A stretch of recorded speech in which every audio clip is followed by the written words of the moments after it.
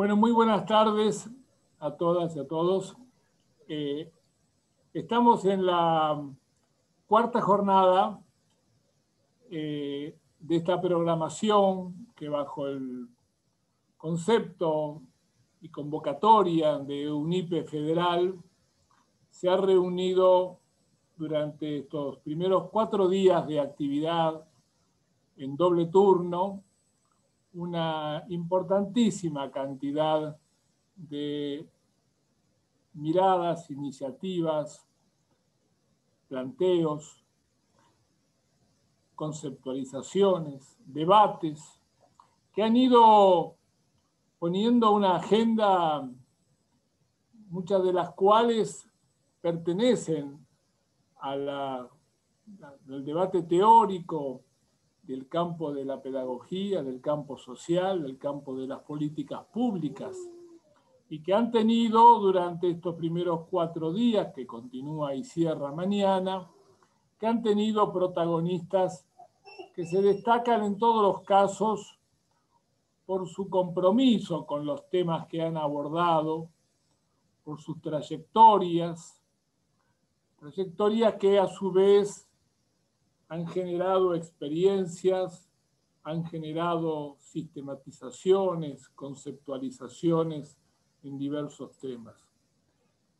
Y para la tarde de hoy, y agradeciendo la presencia de quienes se han incorporado y posiblemente en los próximos minutos se incorporen otros colegas y otras colegas a las cuales ya les damos la bienvenida. Tenemos dos eh, muy queridas personas que nos van eh, a brindar precisamente la sistematización de experiencia socioeducativa desde la proyección de eh, extensión. El extensionismo que lo va seguramente analizar no solo desde la experiencia puntual que vamos a tratar de enfocar, sino también desde una perspectiva eh, integral y que implica un alto grado de compromiso de la universidad pública respecto de las comunidades y sus realidades. En este sentido, vamos a contar con la presencia y la presencia y la palabra y la reflexión de Verónica Cruz, por un lado.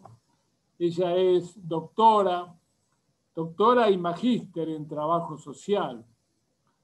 Fue no hace mucho tiempo decana de la Facultad de Trabajo Social de la Universidad Nacional de La Plata una gestión, por cierto, muy recordada por docentes, no docentes, alumnos, de haberle brindado durante su gestión no solamente una jerarquización al espacio académico, sino un alto nivel de compromiso en la proyección social de la Facultad de Trabajo Social y en consecuencia de sus alumnos y docentes y no docentes.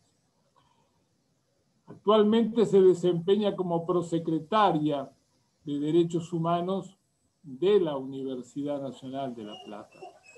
Y tenemos el gran placer de contarla entre nuestro plantel docente en la Universidad Pedagógica Nacional, virtualmente desde los inicios del espacio que comenzó siendo un postítulo y se fue transformando y jerarquizando en una especialización bajo la denominación de educación, políticas públicas y derechos de niños, niñas y adolescentes. Verónica realmente nos enriquece eh, este espacio de fuerte impacto curricular en la formación continua, en el posgrado, que ofrece la Universidad Pedagógica Nacional. No solo docencia, eh, sino también eh, compromiso con la visión extensionista de la universidad. Y hoy el foco de su trabajo va a estar precisamente en que ella ha sido partícipe y, luego autora, coordinadora, compiladora, pero básicamente responsable de la sistematización de una de las experiencias de extensión eh, socioeducativa sobre la cual eh, tendremos oportunidad de repasarla en el transcurso de esta tarde. Junto con Verónica, a la que le agradecemos mucho que, dispongas de, este espacio, eh, me faltó decir cosas, porque además Verónica tiene una trayectoria que no solamente es académica, que también es sindical, ha sido una militante muy activa en su tema, y podríamos seguir mencionando, pero eh, sé que no va a ser ni de su agrado, eh, ni resulta tan imprescindible seguir enumerando. Eh, lo importante es su presencia y, nuestro agradecimiento, Vero, de que nos acompañes. Eh, decía que junto a ella va a estar Juan Carlos Soldavín. Juan Carlos es trabajador social, es un trabajador social con enorme compromiso en el campo de la educación. Eh, como muchos trabajadores sociales que han optado por el espacio educativo para el desempeño de su ejercicio profesional. Eh, pero él también entendiendo en determinado momento de su desarrollo profesional la necesidad de un espacio de formación continua. Y se transformó entonces en alumno de esta especialización, de la cual tanto Verónica como quien les habla, tenemos funciones docentes y de responsabilidad académica, eh, se instaló como alumno de esta especialización. Y dentro de esa especialización, cuando se abrió la posibilidad de llevar adelante un programa de extensión, Juan Carlos no dudó en eh, restarle tiempo a otras de sus actividades para acompañar y participar activamente de esa experiencia.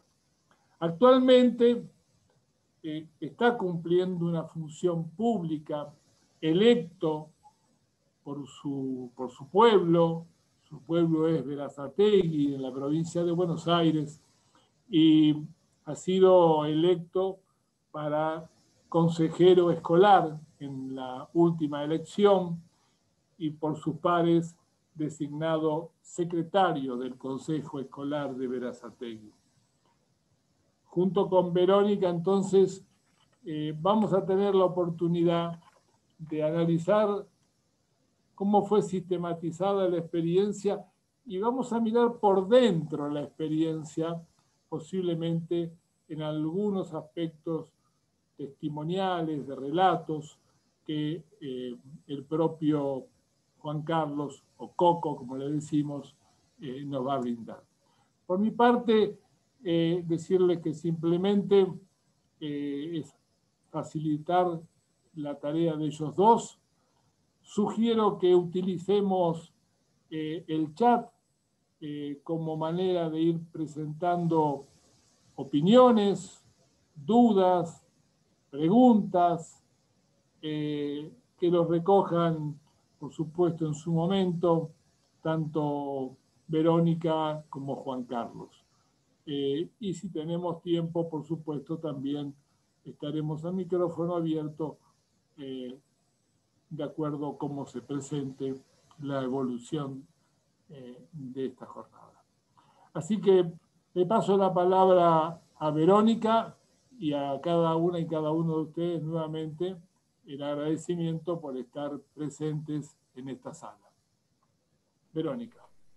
Bueno, muy buenas tardes. Ante todo, muchísimas gracias, Norberto. La verdad que sí, me conoce, nos conocemos de hace mucho tiempo. Con Norberto tenemos una, linda amistad, además de, bueno, coincidir en, proyectos que son compartidos y que implican siempre apuestas políticas, digo, ¿no? Acá claramente me parece que tanto esta experiencia como la propia experiencia en el en el posgrado y otras tantas que, como bien decía Norberto, podrían llevarnos toda la tarde de, reconstruir a partir de preocupaciones compartidas. Nunca son experiencias o preocupaciones eh, que se circunscriban a una cuestión de tipo academicista o cientificista, sino eh, que tienen una fuerte impronta política pensando también el papel de la producción del conocimiento como eh, un potencial o como una herramienta para producir transformaciones sociales. Digo, así que me parece que ahí este, también devuelvo los, reconocimientos que siempre eh, suben la apuesta y bueno, en esos escenarios hemos ido encontrándonos con Norberto hace varios años y más recientemente con compañeros tan valiosos como nuestro querido Coco, con quien hoy este, me toca compartir esta intervención en función de, de, bueno, de relatar algo de lo, una de las iniciativas que llevamos adelante allá por 2017, que tiene que ver con eh, un proyecto de extensión denominado Adolescencia y Derechos, Participación Juvenil en un proceso educativo comunitario, que fue un proyecto colectivo, bueno, después más hacia el final, o por ahí Coco menciona los nombres de las compañeras, porque no quisiera omitirlo, digamos, bueno, fue un proyecto que dirigió Norberto y que acompañamos un equipo de docentes y un equipo de estudiantes de la especialización por aquel entonces, muchos de ellos y ellas ya con sus trabajos finales de especialización terminados y defendidos y que recuperan en gran medida eh, los debates eh, que nos que nos permitieron transitar esta experiencia que hoy traemos para, compartir con ustedes. El, el, proyecto fue presentado entonces por el equipo docente del Departamento de Ciencias Sociales de nuestra Universidad Pedagógica, en el marco de la convocatoria Universidad, Cultura y Sociedad que realizó allá por el año 2017 la Secretaría de Políticas Universitarias del Ministerio de Educación de la Nación, bueno, en un contexto, como iremos viendo a lo largo del, del recorrido eh, sumamente eh, interpelador y preocupante porque, bueno, no, no, es recordado ese tiempo histórico como un tiempo de esplendor de nuestra educación pública, digamos, ¿no? Ahí hubo también un proceso de, agudización de, las condiciones de vida de la población y también de cierto, podríamos decir, empobrecimiento de las, de las políticas educativas en, en un sentido amplio pero para circunscribirme a la experiencia nos hemos este, distribuido con Coco un, primer momento de recuperación de la experiencia, más en términos conceptuales y metodológicos, que es lo que voy a compartir yo, y un segundo momento de la experiencia, eh, de la exposición, perdón, donde contamos concretamente qué fue lo que sucedió y cuáles son los aprendizajes que también cada uno de nosotros y nosotras este, fuimos encontrando a partir de transitar la, propuesta en el marco del proyecto de extensión que la va a compartir Coco. Simplemente para ubicar a quienes nos están acompañando en este encuentro, contarles que la experiencia se desarrolló en el barrio Altos de San Lorenzo, que está ubicado al sur del distrito de La Plata, ¿sí? Que es un barrio donde residen alrededor de unos 45 mil habitantes, como se imaginan, las dimensiones demográficas son eh, importantes. Muchas de las familias que allí habitan se encuentran en situación de pobreza, con altos índices de desocupación, con déficit en atención sanitaria y con dificultades en el acceso a la educación pública, particularmente en el nivel secundario de, de muchos y muchas adolescentes, que fue un poco eh, ese diagnóstico el que motivó la organización de este proyecto, que también venía a fortalecer en una línea de continuidad una experiencia anterior que se había desarrollado en 2016, pero en el caso de esta propuesta, la preocupación fuerte que nos movilizaba era cómo eh, acompañar desde la universidad pública procesos que favorezcan la terminalidad de la escolarización secundaria, siempre en esta lógica de ver cómo achicar esa brecha que se produce entre la conquista de marcos normativos protectorios de derechos, como podemos leer ahí eh, las leyes vinculadas al campo de las infancias, pero también particularmente la Ley Nacional de Educación y sus correlatos en la jurisdicción provincial, donde claramente nos convocan permanentemente a concretar esa obligatoriedad, esa terminalidad de la escolarización secundaria, que sabemos que es una, un asunto pendiente para miles y miles de, adolescentes de, de, nuestra sociedad. Ahí, digamos, también, como decíamos, esta condición de pobreza e indigencia de estas comunidades nos permiten inicialmente reconocer, reconocer esos lugares como territorios de relegación, es decir, con mucha dificultad en el acceso a políticas y a servicios públicos en pos de poder hacer o avanzar, digamos, en un ejercicio efectivo de, los derechos que les asisten, digamos, ¿no? Fundamentalmente por problemas socioeconómicos y culturales de, carácter estructural. Estas primeras consideraciones este, para situar la, experiencia también me llevan a, compartir con ustedes esto que decía al inicio de las consideraciones teóricas y metodológicas que nos fuimos eh, dando como equipo de trabajo. Hubo una, una tarea muy minuciosa de intercambio, de reuniones de equipo, de mucha discusión también, una discusión muy horizontal y, este, y un clima de trabajo y de respeto que es interesante de, de situar y de visibilizar también porque no siempre se da. Y luego, digamos, gran parte de lo que yo comparto aquí eh, fue sistematizado en una producción escrita que recoge todo el registro de esas este, discusiones y de esos intercambios con el propósito de hacer una interpretación crítica de la experiencia. ¿sí? Hubo que, en principio, como reordenar esto que yo hoy estoy narrando, bueno, llevó varios meses de, de trabajo para poder clarificar la perspectiva teórica, metodológica y política desde las cuales pensábamos el proyecto en clave de una actividad extensionista, y luego un ordenamiento de la información y de, lo, y de la reconstrucción que fuimos haciendo a partir del trabajo que, nos dimos.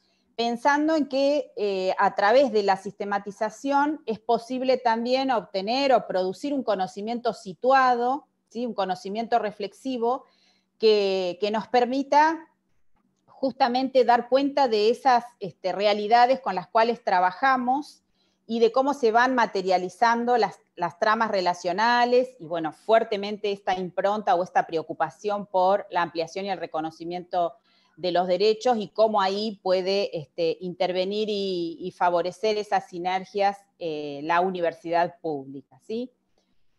Por otro lado, digo, algunas aclaraciones este, en función de este posicionamiento colectivo que fuimos construyendo. ¿no? Por un lado, la convicción de, la importancia de promover procesos educativos contando con la participación efectiva de los y las adolescentes, ¿sí? en, un asunto que nosotros entendemos que es un asunto de interés público, ¿sí? Cómo inscribimos de partida este proyecto de extensión eh, desde una mirada que busca contribuir a la construcción de sociedades más democráticas, que busca visibilizar las desigualdades, las injusticias, justamente para intentar eh, removerlas a partir de, bueno, de este diálogo que también fue un diálogo plural, que, donde fuimos encontrándonos no solo con los este, saberes de nuestros propios campos disciplinares, sino también con los saberes de los chicos y las chicas que participaron de la experiencia, de las comunidades y de los entornos sociocomunitarios a los que ellos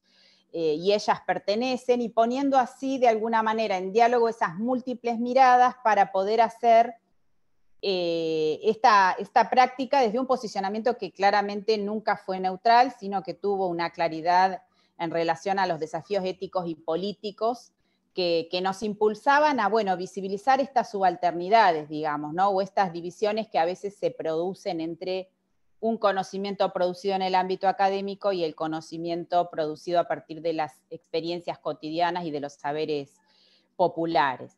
También la experiencia tuvo lugar en un año muy particular, digamos, iniciamos en el 2017 y finalizamos en el 2018, como recién traía Norberto en la introducción, en el 2018, como todos sabemos, se cumplieron 100 años de la reforma universitaria, ¿sí? aquel ideario reformista que puso en cuestión la función social del conocimiento y el lugar de la universidad pública en la sociedad, que propició también la construcción de una visión latinoamericana, de una revalorización de la cultura y la integración y la defensa de la libertad de pensamiento, de la democratización del conocimiento, del gobierno universitario. Bueno, todas esas cuestiones atravesaron de algún modo la experiencia a la hora de pensarnos como docentes extensionistas, ¿sí? Porque, bueno, también la propia noción de extensión puede ser comprendida desde una multiplicidad de, de significados, digo, ¿no? Para nosotros es básicamente una dimensión de la vida universitaria que tiene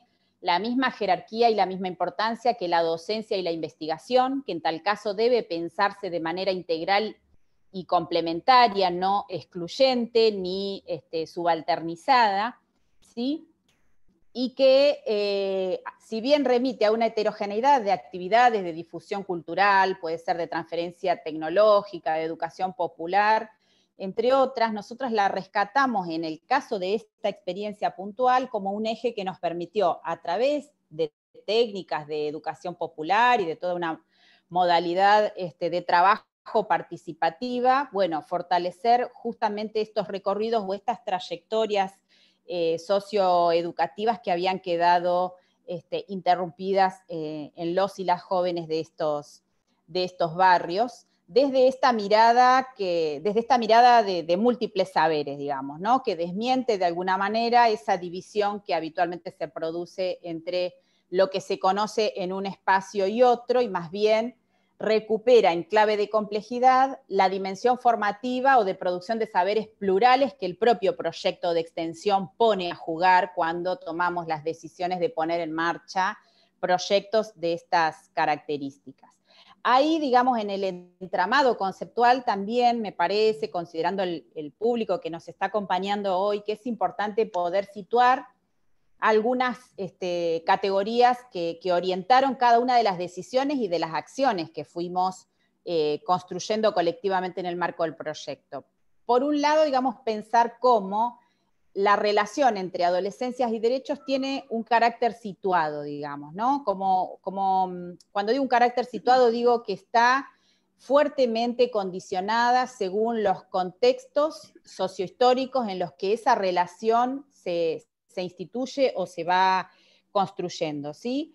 A su vez, cada una de estas nociones tiene un conjunto eh, muy amplio de definiciones, tampoco hay una definición única o unívoca, digo, no, hablar de adolescencia remite, por un lado, a un conjunto de cambios biológicos, afectivos, pero también puede ser leída la adolescencia como una temporalidad que se construye a partir de experiencias de desarrollo, fuertemente marcadas por, las experiencias de la infancia, pero que también es portadora de, singularidades que habilitan o dificultan distintas experiencias que luego van a ser desplegadas en la vida adulta. ¿Eh? También supone... Em, también A ver, ¿se escucha ahí?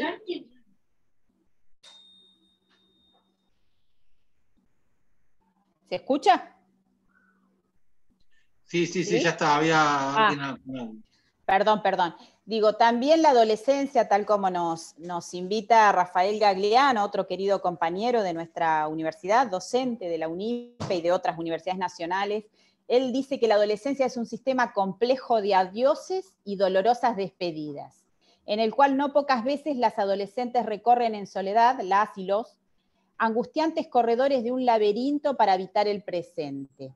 Fíjense cómo en esta este, referencia casi poética, eh, Rafael da cuenta de una complejidad enorme de transitar este momento de, la vida de las personas, ¿sí? Y cómo esa configuración de la adolescencia está necesariamente marcada por un conjunto de componentes culturales que varían a lo largo del tiempo en, la, en determinadas sociedades, digamos, y se diferencian entre una sociedad y otra, ¿no? Como, como eh, las reflexiones de Rafael acá nos invitan a pensar en los y las adolescentes o en la categoría adolescencia en términos más teóricos y metodológicos como un concepto dinámico, relacional y en permanente construcción, digo, ¿no?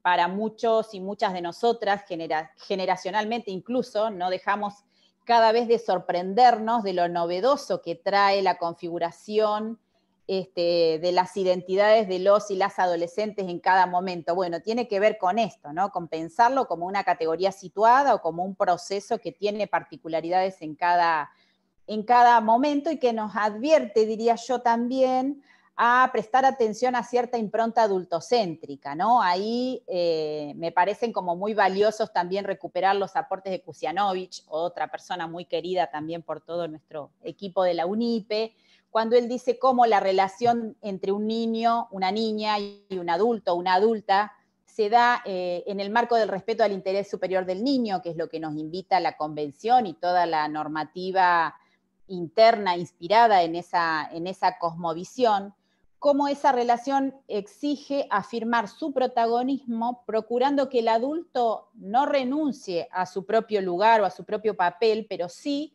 lo reformule desde un encuentro que evite manipulaciones y que permita democratizar las relaciones entre las generaciones, ¿no? Digo, ¿cómo no perder ese lugar de autoridad, de sostén, de crianza, pero a la misma vez eh, que ese lugar no se convierta en un lugar de tutela, de, de sumisión, de inferiorización, sino que acompañe procesos que democraticen las relaciones y que le permitan a esas infancias y adolescencias progresivamente ganar eh, autonomía, ¿no? Con lo cual, dicho esto, ya estamos como anticipando, estoy haciendo así como una apretada síntesis, después si nos da tiempo en el diálogo podemos abrir un poquito más, pero Em, en estas pinceladas conceptuales ya vamos anticipando el distanciamiento que definimos como equipo en relación a esas posiciones que tienden a pensar las adolescencias como un estadio unívoco, que tienden a definirla como en singular, que, que apenas se reducen a pensarla como una etapa de la vida, ¿sí? Sin eh, asumir el desafío de pensarlas y de comprenderlas desde un marco flexible y dinámico, desde estos múltiples atravesamientos, podríamos decir desde los, el género, la clase social, la etnia, ¿no? Como esa mirada interseccional que claramente va eh, marcando ciertos contornos de experiencias de ser adolescentes eh, que son muy singulares y que es importante que las podamos recuperar en función también del papel que cumplen instituciones eh, con una fuerte eh, participación en la configuración de las adolescencias, como podemos pensar en este caso la familia, la escuela, aunque no solo, digo, están los medios de comunicación, las tecnologías de la información, bueno, y todo lo que uno pueda eh, sumar, que tenemos como muchas ganas, pero a su vez no nos queremos correr, en, este, en esta exposición respecto de cómo interpela también en este contexto de pandemia esas construcciones y esas eh, representaciones cuando tratamos de trabajar en pos de generar condiciones sociales, institucionales y comunitarias tendientes a garantizar derechos y a, generar la igualdad de oportunidades, ¿no? Ahí ya metiéndonos con esta concepción de derechos, también es importante em, para nosotros fue importante y creo que es interesante compartirlo acá con ustedes, cómo pensar esos derechos o la construcción de los derechos como un, conjunto, como un conjunto multidimensional de prácticas, saberes e ideologías que se explican de manera situada, como decíamos antes, en condiciones eh, políticas, sociales, culturales y económicas específicas, y que es precisamente sobre esas construcciones donde se apoyan nuestros sistemas jurídico normativos, digamos, y a partir de allí le dan sentido, le dan legitimación y nos dan la posibilidad de justamente la exigencia de justicia y todo el trabajo de reivindicación y de lucha, ¿sí? Esto que, que también sostenemos fuertemente como los derechos son el resultado de las luchas sociales y políticas que, como sabemos, nunca son luchas individuales, sino más bien siempre son luchas colectivas a partir de colectivos este, organizados y que comparten esas luchas, el, sustrato de la exigencia y afirmación del reconocimiento, ¿no? En gran medida la lucha por los derechos tiene ese sustrato ético de la afirmación del reconocimiento de derechos de grupos vulnerabilizados, como podríamos pensar en las infancias, aunque no solamente, ¿no? En este sentido, reafirmar entonces que los derechos de las infancias son una construcción sociohistórica que si bien en el plano jurídico tienen una vigencia reciente, vienen siendo, en nuestro país, vienen siendo protegidos por diferentes instrumentos legales a nivel internacional, bueno, a nivel nacional, eh, a través de distintas normativas que también regulan y ordenan de alguna manera em, el diseño y la implementación de un conjunto de políticas públicas que deben recrear o deben estar inspiradas u orientadas justamente por esos principios este, de integralidad sistémica que procura la, normativa respecto de los derechos de las infancias, eh, dirigidas también a garantizar la atención especial eh, requerida por estos grupos de, adolescentes en su condición de portadores de, derechos y de libertades, Y allí también se, jugaba fuertemente para esta experiencia la, la, propia noción de participación, ¿no? Como una de las condiciones para que ese ejercicio efectivo de los derechos se pueda realizar, digamos. Es como muy, este, es como impensable el ejercicio de los derechos sin eh, la práctica política de la participación entendida como un ejercicio de distribución o de democratización del poder, ¿no? el derecho a ser escuchado, el derecho a tomar la palabra, el derecho a proponer y a pensar desde una pluralidad de, posiciones. Bueno, todo esto em, se jugó también a la hora de pensar la noción de derecho como, como categoría teórica, pero también como categoría práctica que orienta y que permanentemente retroalimenta las acciones y las decisiones que nosotros y nosotras íbamos tomando en el marco de, esta experiencia. Obviamente, em, una experiencia que también situó fuertemente el papel del Estado ¿no? y la necesidad de, de fortalecer ese Estado de fortalecer la mediación que el Estado hace en pos de garantizar derechos a través de las políticas públicas, a través de los distintos programas que van propiciando cuidados a las infancias y adolescencias en términos de educación, en términos de salud, en términos de recreación, de nutrición, eh, en fin, digamos, todo lo que hace a la posibilidad de ir consolidando progresivamente un sistema de protección integral al cual lo que veíamos en la referencia empírica, que algo de esto lo va, va a traer Coco, es que, bueno, justamente estas infancias, estas adolescencias con las que trabajamos en el marco del proyecto estaban todavía como muy lejos de acceder a esa protección integral, ¿sí? Otro de los tópicos o de las nociones fuertes en la, en la, experiencia fue la propia concepción de educación, ¿sí? que yo mencionaba al inicio, la educación pensada como un derecho social, como una práctica potente para resignificar la relación entre adolescencia y derechos, ¿sí? como un derecho clave o un derecho bisagra, ¿sí? en, términos de poder pensar que la educación es un derecho que da derechos, ¿no? Este, si nosotros no tenemos educación, difícilmente se pueda eh, em, ejercer eh, de manera mm, eh, disputada de manera eh, sistemática el conjunto de otros derechos que nos asisten por el solo hecho de ser este, sujetos de derechos, ¿sí?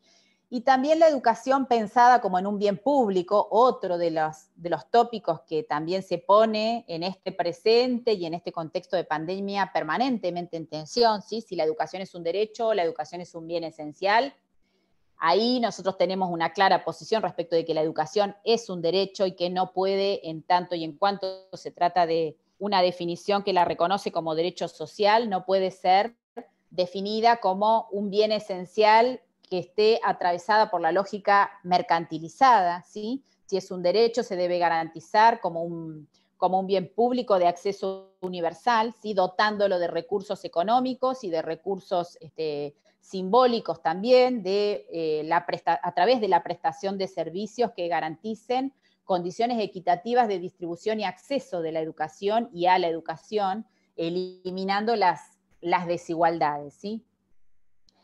Eh, otra de las cuestiones que también atravesaron nuestras discusiones en el proceso de desarrollo del proyecto fueron las cuestiones vinculadas al contexto neoliberal. Digo, no me voy a extender acá demasiado porque entiendo que todos y todas este, hemos vivido, las, tenemos nuestras biografías atravesadas por la experiencia eh, neoliberal, pero sí me parece que eh, poder detenernos en el marco de la construcción de la experiencia a pensar cómo la lógica eh, neoliberal atraviesa no solo a nivel global las realidades y la vida social, sino también a escala local, y cómo los efectos que produce el neoliberalismo se observan en los fuertes condicionamientos que generan, no solo en términos materiales y económicos, que son gravísimos, sino también en nuestras propias biografías, en la producción de las subjetividades y en los propios este, recorridos y construcciones identitarias de los y las adolescentes, ¿no?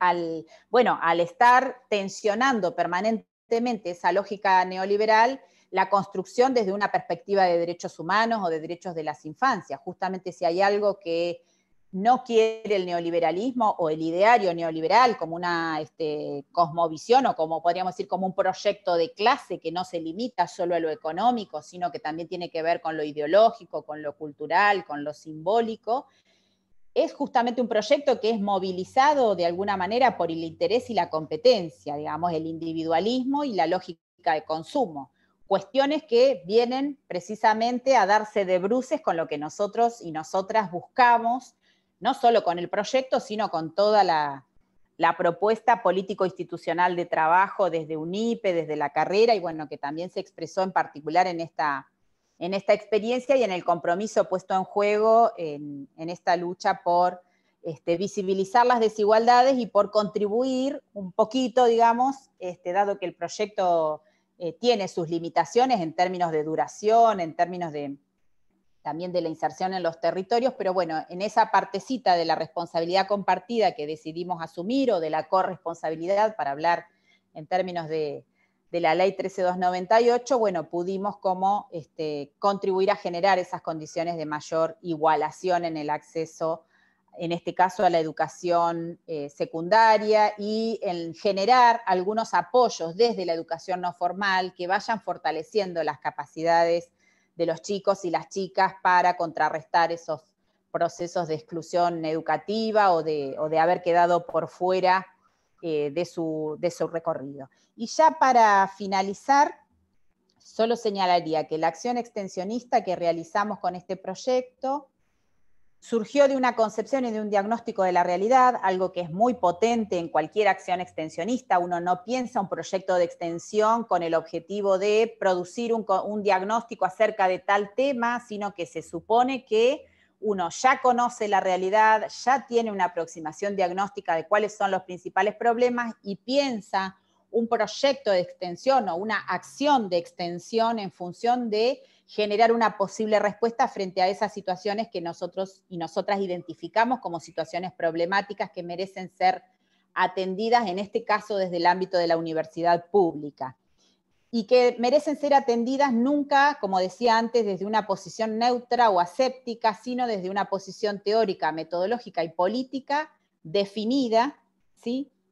En este caso definida fuertemente hacia el reconocimiento y la ampliación de derechos, que busca recuperar las prácticas y lo ya hecho, porque también las acciones nunca se inician cuando nosotros llegamos, ni se terminan con nosotros eh, y nosotras, sino que la idea es poder recuperar en esa procesualidad histórica lo que hicieron otros y otras antes, la articulación con las organizaciones sociales, que bueno, eso seguramente también lo va a contar Coco, nosotros acá trabajamos con una organización muy fuerte, con presencia en el territorio, y la recuperación de esos eh, de esos saberes que fueron dando marco a la, experiencia, tomando en cuenta la palabra y la participación de los actores y las actrices, y luego pudiendo hacer un análisis que facilitara algunas claves para interpretar esa experiencia a la luz de los aportes eh, de la teoría, a la luz de los aportes también de la perspectiva de derechos humanos,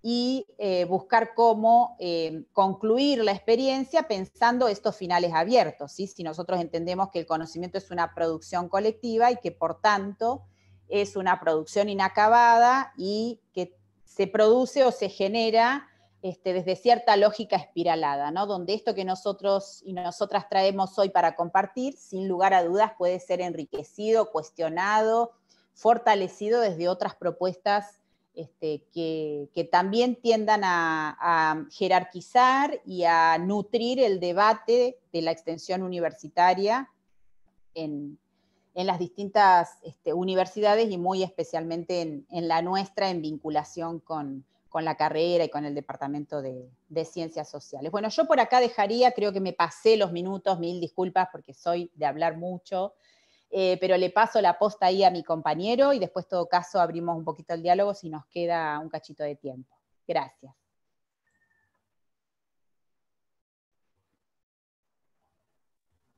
Bien. Norberto, estás muteado si estabas hablando. Simplemente decirte gracias, Verónica, por la presentación y Juan Carlos, tenés ahora la disponibilidad del tiempo. Bien, muchas gracias. Eh, bueno, primero agradezco la, invitación. Eh, es, complejo a veces eh, exponer en público, ¿no? Y, uno a veces se siente más confiado y más seguro en determinados espacios y y va aprendiendo los otros. Pero un placer compartir el espacio con Verónica y, con Norberto, obviamente, eh, a quienes conocí a partir de, integrarme a, la especialización, eh, que la hice en un momento muy complejo, porque yo la cursé en 2016-2017, cuando estábamos eh, con el inicio de un gobierno que a la educación no la veía como un derecho. Eh, y bueno, la, especialización fue un espacio catárquico en su momento para, quienes estábamos y a la vez nos ayudó a fortalecernos y trabajar. Eh, así que bueno, muchísimas gracias. Eh, fue una, grata y enriquecedora experiencia y eso está muy bueno. Y, y bueno, y en el medio de eso fue la oportunidad de, de participar y trabajar en, el proyecto, en esta propuesta de extensión eh, que nos dio la, posibilidad de trabajar en dos espacios. Uno era Alto de San Lorenzo y el otro era en Arturo Seguí, dos, lugares geográficamente distantes dentro del Partido de la Plata y con características eh, también distintas, ¿no? O sea, Arturo Seguí, eh, siendo parte, componente del Partido de La Plata, con muchas características de pueblo, un espacio, eh, una, zona central, céntrica del pueblo y una zona periférica eh, con, con, grandes diferencias entre sí y sobre todo en la población. Nosotros iniciamos el proyecto eh, planteamos inicialmente dos etapas del proyecto. En la, primera etapa, eh, bueno, yo estuve trabajando con una compañera que es Fabiola Martín, eh, que es colega, trabajadora social, inspectora titular de psicología en La Plata, y fuimos quienes estuvimos abordando toda la propuesta en Arturo Seguí. En la primera etapa, a partir de, una información previa que nos brindó la, universidad, comenzamos con un relevamiento de instituciones dentro de Arturo Seguí, sobre todo las instituciones vinculadas a, eh, niños, niñas y adolescentes y a los jóvenes. Eh, conocimos básicamente, en primer lugar, a la gente de, la Biblioteca Popular, eh, de un grupo scout que, funcionaba en el pueblo eh, y a la gente que concurría en la escuela los sábados al Centro de Actividades Juveniles, al CAC, un programa de educación. Eh, y empezamos a, tener un diálogo con ellos, a charlar, a contarles un poco la propuesta, a, dialogar en relación a, a la realidad de los jóvenes en general y de los jóvenes de Arturo Seguí en particular y a la visión que había sobre ellos y obviamente al ejercicio de derechos de, tanto de niños como niñas y adolescentes. Eh, y sobre todo empezamos a hablar respecto de eh, aquellos y aquellas jóvenes que no, no, no tenían la posibilidad de, acceder a la educación, a la educación pública, a una escuela, eh, y, y qué era lo que cada organización pensaba al respecto. Eh, y nos encontramos eh, con situaciones, eh, si se quiere, hasta sorprendentes, ¿no? Porque, por ejemplo, trabajamos, nos vinculamos con el grupo Scout y era un grupo Scout que los jóvenes que concurrían al grupo Scout, ninguno era de, la zona, ninguno era de Arturo Seguí, los traían los sábados de, Villa Elisa para desarrollar actividades en Arturo Seguí, pero no había un proyecto de trabajar con los jóvenes eh, y las jóvenes de Arturo Seguí como una propuesta de educación no formal que suelen tener los scouts y demás. Eh, entonces fuimos avanzando en esos diálogos con algunas instituciones. Decidimos en un momento eh, hacer base en la, biblioteca popular, que nos parecía el lugar más adecuado, y desde ahí empezar a interactuar con otras organizaciones. Nosotros arrancamos, como dijo Vero, en el 2017 eh, y recién después de mediados de 2017, más o menos por agosto, septiembre de 2017, pudimos coordinar una reunión con representantes de 10, 12 organizaciones de Arturo Seguí. Eh, cuando nos, que incluso participó Norberto en, las charlas que tuvimos, eh, donde les contamos un poco cuál era la idea del proyecto, de qué, de qué trataba, eh, y compartimos eh, pensares, saberes, y compartimos opiniones y sentires. Eh, y cada, cada organización empezó a contar un poco lo que hacían. Eran organizaciones de, si se quiere, de un pueblo, de un lugar medianamente, geográficamente chico, y organizaciones que no se conocían entre sí, organizaciones que desconocían la actividad del otro, eh, y que por momentos cada uno tenía en su discurso eh, esa impronta de plantear que eran quienes tenían la mejor actividad, la mejor propuesta para los jóvenes de Arturo Seguí, pero no se podían permitir ver sus propuestas como complementarias, ¿no? pensando en función de la perspectiva de derecho, eh, por ahí no lograban ver que una, propuesta podía ser complementaria de la otra y viceversa. Eh, y eso por ahí dificultaba un poco el, trabajo.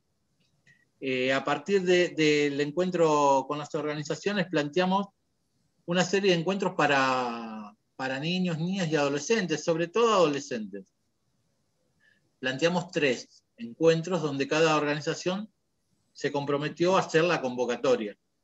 De los tres pudimos hacer eh, dos, eh, con, con, pocos jóvenes. Eh, hubo alguna falla en la convocatoria. Y, y, en uno de los encuentros, básicamente, un grupo de jóvenes que participó, alrededor de 10 o 12, eran jóvenes que estaban jugando a la pelota eh, en, el lugar, en, Arturo Seguí, para, darse una idea, es, está la, vieja estación de Arturo Seguí, eh, y hay unas canchitas de fútbol, está la biblioteca en, uno de los espacios que era la estación, eh, y bueno, ahí se juntan a jugar, a charlar, a escuchar música.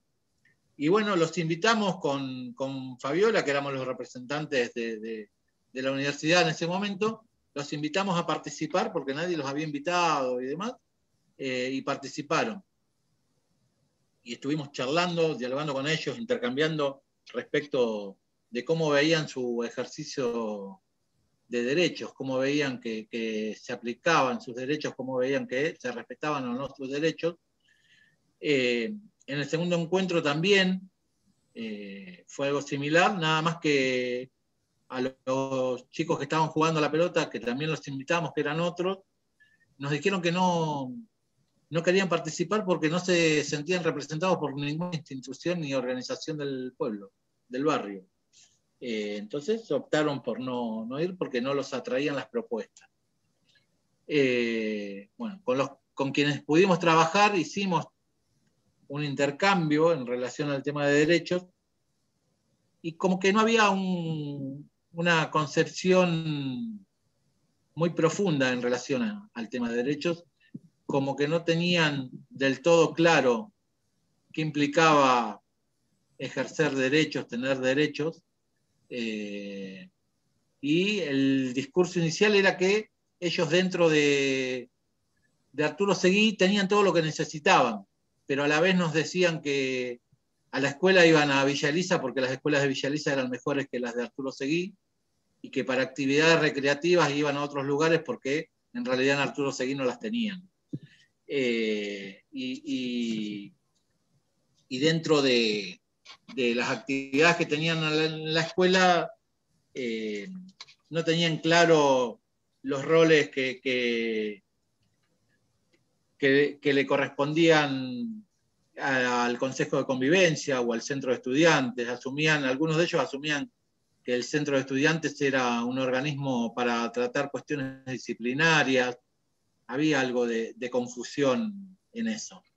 Eh, estuvimos trabajando y a partir de, esta, este, esta, falta de, convocatoria empezamos a revisar eh, cuál podía ser el porqué y, qué pasaba con esto de que los jóvenes y las jóvenes no, se acercaban.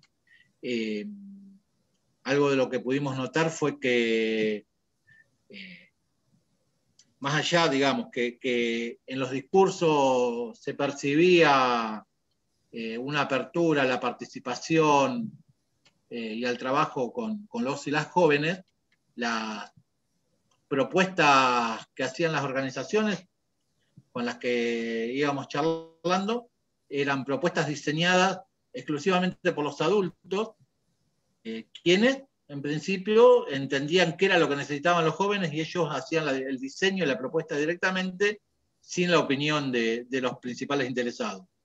Eh, y decían que aquellos jóvenes que no estaban escolarizados, que se juntaban eh, que se juntaban en la plaza, en la esquina, frente a la escuela, habían intentado convocarlo de distintas formas y no lo habían logrado y estaban convencidos que el problema era que a los jóvenes no les interesaba participar en nada. por ahí era como correrse un poco el problema y decir, bueno, el problema, el problema son ellos, que, no, que nada les interesa, que nada los atrae, eh, y, no somos nosotros. Eh, lo que sí notábamos es que los jóvenes estaban ahí en la esquina, en la plaza, eh, en la vereda, visibles, notoriamente visibles, pero a la vez invisibilizados, ¿no? Invisibilizados por quienes tenían la obligación de, de visibilizarlos avanzamos después con el trabajo, eh, después del 2018, en algunas cuestiones, tratando de entender y de buscar eh, qué, era, qué, era, lo que estaba faltando. Eh, había, había, como algunos conceptos de, que estaban instalados, no sé, la participación, un concepto fijo de participación y entender cómo participación a la presencia física. Si no había una presencia física en un espacio y, tiempo determinado, consideraban que no había participación de los jóvenes, sin entender la forma en que hoy en día los jóvenes se comunican. Eh, no había un cuestionamiento sobre las estrategias para, para vincularse comunicarse con los jóvenes. Eh, entonces, eh, como que, se, hacía, se hacía difícil poder revertir ese pensamiento, esa opinión, y, había cuestiones que estaban instaladas y que eran muy significativas. Eh, había jóvenes que sí participaban en algunas actividades, eh, pero esto, eh, o sea, algo que a nosotros nos llamaba la atención. al lado de la biblioteca, y eso lo hemos, lo hemos charlado en su momento con Norberto, al lado de la, biblioteca no tenía baño. Una, cosa muy, muy, muy particular lo que ocurría. La biblioteca no tenía baño. Pegado a la biblioteca estaba el destacamento de policía, que sí tenía baño. Los chicos que iban a la biblioteca caminaban una cuadra hasta la escuela para ir al baño porque de ninguna manera querían ir al baño donde estaba la policía. Eh, eso era un, un mensaje muy fuerte respecto de, nosotros hemos visto por ahí en, el pueblo a la policía eh, detener y requisar a un grupo de chicos que se juntaban a rapear, había una cuadra, y por el solo hecho de estar rapeando eh, los revisaban, les hacían sacarse la ropa, cosas, eh, cosas complejas para estas épocas, estamos hablando del año 2017 y 2018. Eh, entonces, había como, como lugares estancos donde nadie quería ingresar. Lo, que ocurrió luego de esto fue la necesidad de, de ampliar la información que teníamos eh, y trabajamos, decidimos definir eh, para, para, para, poder avanzar en, en, la sistematización y entender un poco eh, qué cosas habían funcionado y qué cosas no dentro del proyecto. y sobre todo porque teníamos que darle el valor que tenía un proyecto de extensión, que, que era un proyecto de extensión pensado en función de esta perspectiva de derecho en la que venimos hablando y de, la que eh, en parte estuvo hablando, hablando Vero. Eh, entonces, como que había que dar una vuelta para saber qué más se necesitaba. En, esto de definir eh, informantes claves, ampliamos entrevistas, más allá de, haber hecho las actividades y demás, eh, en las que incluimos una representante de, la biblioteca, en la que incluimos una representante de la escuela secundaria. Eh, la, primera vez eh, que yo concurrí, la escuela secundaria funcionaba frente al parque donde está la canchita y demás. Después le hicieron un edificio nuevo. Y cuando yo llegué, el día que yo llegué, la, entrada de la escuela secundaria estaba pintada con brea, le habían tirado unos baldes de brea. Eh, entonces, cuando pregunté qué había pasado, me comentaron que había habido un conflicto eh, con un estudiante de la escuela, en un momento, eh, y como se había puesto una situación que en la escuela consideraban un tanto violenta, las autoridades de la escuela habían decidido llamar a la policía, la policía fue y se llevó detenido a ese estudiante de la escuela secundaria. Eh, obviamente luego de eso, una mañana apareció la escuela toda llena de brea. Eh, entonces, bueno, igual hicimos, tomamos como, como, eh, como informante clave a una representante de, de la escuela que tenía, por ahí nos dio algunos conceptos un tanto complejos, ¿no? Porque hablaba de, el desgranamiento de matrícula y la, pérdida de matrícula de la escuela, eh, y el concepto era que no encontraban estrategias para frenar el drenaje de alumnos. ¿no? Un tanto fuerte hablar de, la pérdida de matrícula como drenaje. Eh, y que en realidad el problema era que no había bases eh, bases pedagógicas eh, o bases intelectuales en los chicos y que por eso se desvinculaban de la escuela y que para estar vinculado a la escuela era fundamental la base intelectual de cada chico. Eso fue uno de, los conceptos que nos tiraron, que nos ofrecieron, ¿no? Y, cómo culpabilizando y planteando que sí había participación, pero la participación estaba dada solo para en las actividades en las que la propuesta era de los adultos de la escuela y no tomaban propuestas de los jóvenes, ni siquiera tenía un centro de estudiantes la escuela. No permitían el funcionamiento del centro de estudiantes. Eh, otra informante clave fue la trabajadora social del barrio, de una salita, quien tenía un vínculo muy fuerte eh, con las familias de la periferia, básicamente, y quien trabajaba, eh, había, había encontrado como estrategia vincularse a una organización del barrio, que se llama Cuidadores de la Casa Común, que se complementaban en el trabajo de acompañamiento de las familias con mayores vulnerabilidades. y sobre todo con familias cuyos hijos estaban con sus derechos vulnerados. Eh, y armaron un trabajo profundo.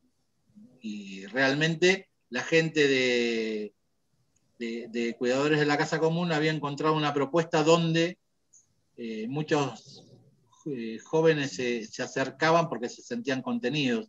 Entonces, como informante clave, también trabajamos con dos chicas que concurrían a, a la escuela, tenían cuidadores de la casa común, tenía una, eh, una propuesta de una secundaria con oficios que habían iniciado ese año, que tenía una, amplitud eh, sumamente interesante en cuanto a la recepción. Entonces, en las entrevistas las chicas nos decían ellas habían dejado la escuela porque eh, no se sentían contenidas, no, no, sentían que, que, la escuela las valoraran y habían después decidido ser madres y tenían sus hijos y cuando se acercaron a la propuesta de la escuela con oficios de cuidadores, lo primero que preguntaron era si podían ir con sus hijos, porque tenían sus hijos bebés. Eh, y la gente de cuidadores les dijo que sí, que el espacio era para que fueran con sus hijos y demás. Y ellas al comienzo desconfiaban, pensaban que las estaban mintiendo, que les decían que sí para que se anoten y una vez que estaban anotadas les iban a decir que tenían que ir solas. Eh, y concurrían con sus hijos, les daban tiempo, a los que tenían hijos en jardín o en la escuela primaria, les daban tiempo para ir a buscar a los chicos a la escuela porque funcionaban creo que de 11 de la mañana a 4 de la tarde, eh, comían todos juntos dentro de, la escuela eh, y compartían una vida, un proyecto de vida en, conjunto. esa nos resultó como una de las eh, propuestas más interesantes y que realmente apuntaba a ampliar derechos. Eh, y era una organización, la de cuidadores, que no tenía mayores vínculos con el resto de las organizaciones de Arturo Seguí. El vínculo fuerte lo tenían con la trabajadora social y no con el resto.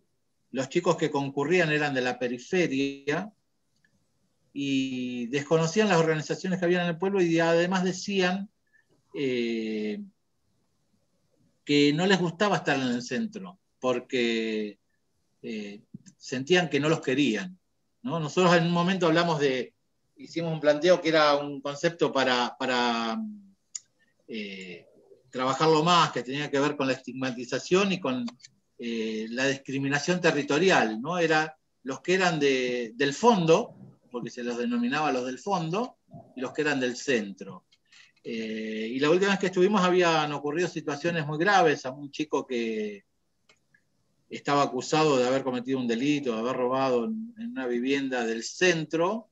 La gente del centro se había juntado y habían ido y le habían quemado la casa a esta familia porque en teoría el hijo había cometido un delito. Eh, y bueno, eh, nos encontramos con, esa diferenciación de los del centro y los de la periferia, los del fondo, los del otro lado.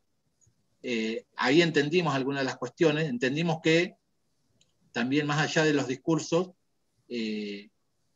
seguía instalada en muchas organizaciones y, no, no, estamos cuestionando su intencionalidad, sino los posicionamientos ideológicos, paradigmáticos pero estaba instalado el concepto de el niño o la niña como objeto de tutela aún. Cuando tenemos la convención desde hace algunos años, eh, y, parece que hay quienes todavía no entienden que, o que no pueden ver a los, los y las jóvenes o niños o niñas como sujetos de plenos de derecho. Eh, y, desde allí generan las propuestas que, si se quiere, son para un público cautivo.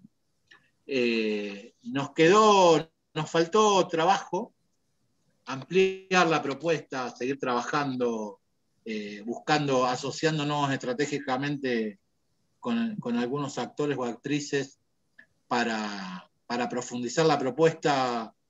Eh, después de esto, esto lo terminamos de cerrar, el análisis en el 2019. Eh, el 2020 nos agarró una pandemia que paralizó absolutamente todo y por ahí eh, no se pudo generar una propuesta. Yo creo que ahí nos ha quedado una puerta abierta para seguir trabajando.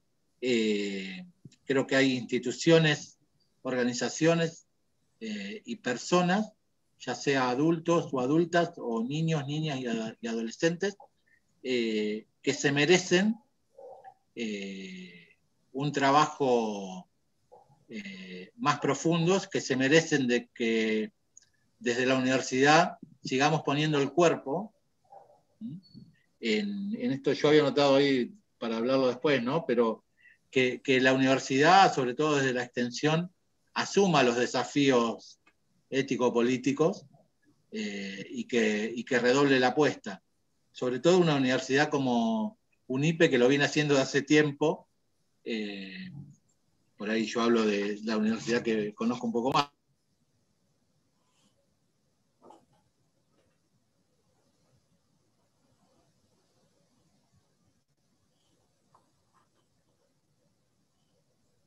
Decía, creo que hay que, hay que ah, trabajarlo.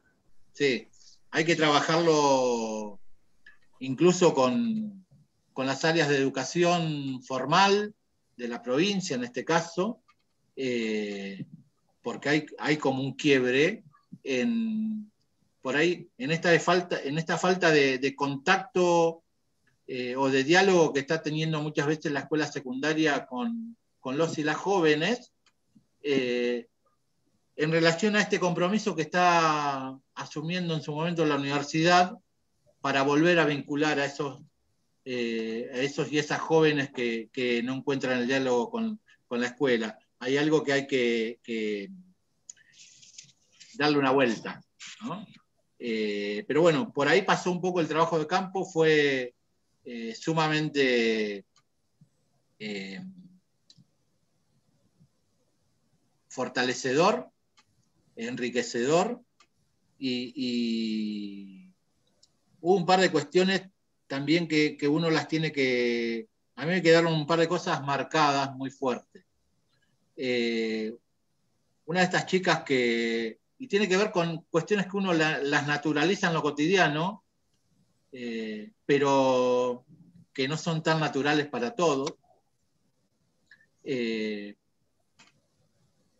cuando yo estuve trabajando con las chicas que iban a, la escuela secundaria con oficios de, con sus hijos en cuidadores de la casa común, eh, empezaban a relatar situaciones eh, que, que, antes no le pasaban, de que ahora consideraban que podían, que podían tener otro futuro, que podían generarse un proyecto de vida, que podían seguir estudiando, que, tal vez la universidad eh, no era algo lejano, o los estudios superiores no eran algo lejano, sino que eran algo que podía ocurrir, eh, que sabían que había gente que, que se la jugaba por ellos, eh, y una de ellas me dijo que su interés también estaba en poder eh, avanzar, en poder estudiar para, para mejorar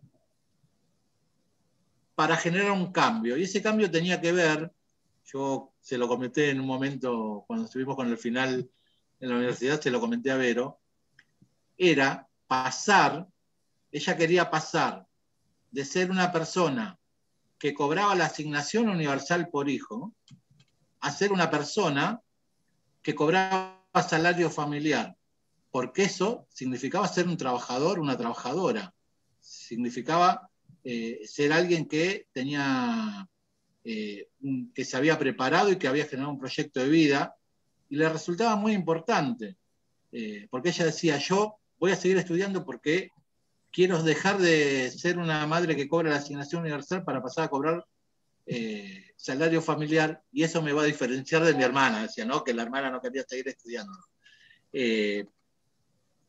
a mí me resultó más que significativo. Eh, entonces, yo quiero cerrar esta parte con, un pequeño texto que, viene de, esas charlas que tuvimos, de, esa recorrida por Arturo Seguí, del trabajo del intercambio eh, y de las historias que fuimos conociendo. Dice, yo cuento mi historia y me reconozco en la de mi vecino. en la de un otro que me reconoce y no me juzga. Yo entiendo lo que dice. Este otro maneja mis códigos. Me identifico con lo que cuenta. Hay historias comunes, paralelas, parecidas y hasta encontradas, donde conviven ruidos, olores, recuerdos, sensaciones, angustias y esperanzas. Historias de las que las instituciones pueden y deben ser parte. Pequeñas y grandes historias individuales, familiares, regionales, que contribuyen a la conformación de otra historia, la que escriben entre todos y todas, la que reconocen su propia identidad, la que les permite pararse de cara al futuro. Bien, gracias por el espacio eh, y bueno, por poder contar un poco lo que fue transitar por Arturo Seguí en ese momento. Bueno, muchas gracias Juan Carlos. Creo que todos y todas hemos escuchado con mucha atención la experiencia directa, concreta, el contacto, la diversidad de situaciones, del escenario social y la complejidad de las tramas que se construyen y se desconstruyen. Y también creo que nos presentaste capítulos de renovada esperanza en el ámbito de situaciones de incertidumbre. Si les parece bien, hacemos este intercambio que habíamos sugerido para luego dar la palabra a cada una y cada uno de ustedes. Eh, tal vez Verónica quiera retomar algo de lo de Juan Carlos y Juan Carlos quiera retomar algo de lo de Verónica y hacemos este intercambio y, luego nos queda un tiempo para eh, escuchar los comentarios, reflexiones, preguntas que creo que lo vamos a hacer a micrófono abierto. Tenemos algunas cosas escritas en el chat, pero también podemos abrir los micrófonos porque el número lo permite. Así que, Verónica, si podemos abrir este intercambio, adelante. Y no, me parece que ahí este, Coco fue como muy minucioso en, en, relatar lo que efectivamente fue sucediendo desde nuestra interpretación crítica, que bueno, también sabemos que nunca es neutra, ¿no? Eh, pero me parece que también es parte señalar estas este, dificultades o recuperarlas en, un sentido crítico, es parte de los aprendizajes que fuimos haciendo como grupo. Em, bueno, es algo que hemos conversado también con el equipo y con Norberto en relación a cuáles fueron los núcleos conflictivos de, la experiencia y cómo seguir inaugurando o afianzando en el marco de la UNIPE el trabajo de extensión universitaria desde esta mirada que, que, bueno, que compartimos y que han trabajado este, fundamentalmente autores como Boaventura de Sousa Santos, en esto de pensar el conocimiento pluriversitario, bueno, digo, como unas interpelaciones fuertes desde la mirada latinoamericana, desde la perspectiva decolonial, desde la mirada interseccional, que bueno, son como ángulos de lectura teórica que se juegan permanentemente a la hora de pensar el trabajo en los territorios y que quizá esto que señalaba mm, eh, Coco en relación a las resistencias o a las dificultades para que los pibes y las pibas se sumaran al espacio, nosotros lo, analizábamos también con una, quizá una dificultad nuestra como equipo en el sentido de cómo pensar la convocatoria, digo, ¿no? ¿Dónde, dónde nos encontramos con los pibes y las pibas? Qué representa para los chicos y las chicas una propuesta de extensión de una universidad que por ahí no tiene como una inserción tan arraigada en ese territorio, en ese barrio.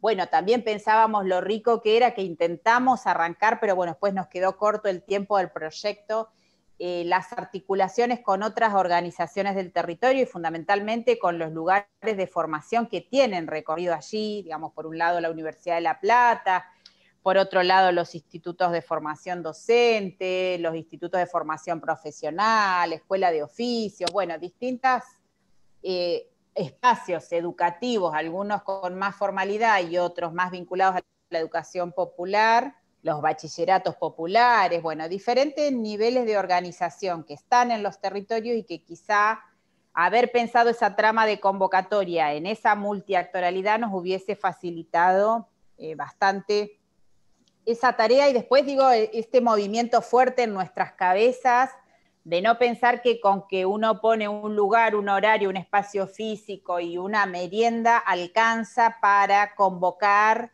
e interpelar e interesar a los pibes y las pibas, ¿no? Cuando en realidad también las, como, como bien contaba Coco, las referencias y las experiencias que, que ellos y ellas narraron en esos meses de encuentro con, cada uno de nosotros y nosotras era, fueron como experiencias muy, movilizadoras también, ¿no? Como, no sé, digo, desconocer que a 30 cuadras tenías la posibilidad de iniciar un trayecto de aquellos que estaban terminando la, la secundaria y con deseos de iniciar quizá la universidad eh, o de reiterar cuando algo no queda claro, o de encontrar otras vías de comunicación. Bueno, hay como una cantidad de barreras de acceso tanto a la educación secundaria como a la educación universitaria, que, bueno, que, que, nos muestra de la manera más brutal, digamos, todo lo que hay que deconstruir, ¿no? Por eso también esto que vuelve en, la pandemia tan potente como cuándo vamos a volver a la normalidad, entre muchas comillas, de qué normalidad hablamos, cuánto de efectiva y cuánto de cerca está